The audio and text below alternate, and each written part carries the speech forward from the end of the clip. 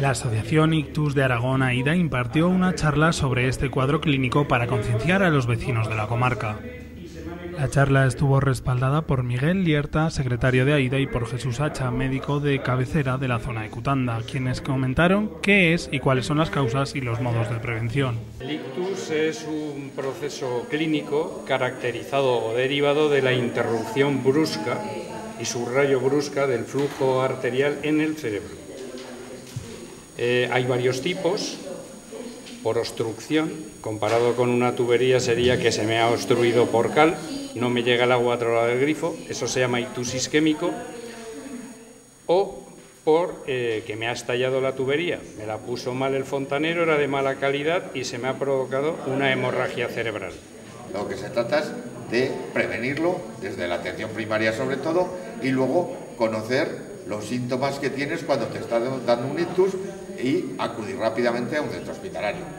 Factores como el colesterol, la diabetes, la obesidad o el consumo de tabaco o el alcohol aumentan el riesgo, aunque no son la única causa de este cuadro médico. El ictus es la tercera causa de mortalidad en los países desarrollados y actualmente la cifra de ictus que se producen en nuestra comunidad ha ascendido a los 10 diarios. Hay 3.000 al año, eso supone de 8 a 10 casos de, de ictus diarios en Aragón. En España hay de 100 a 120.000 casos por lo cual es una enfermedad muy prevalente. Asociaciones como AIDA en Aragón desarrollan una labor crucial para la orientación y ayuda a familiares y a todas aquellas personas que se sienten cercanas a ellas. Eh, tenemos dos misiones fundamentales.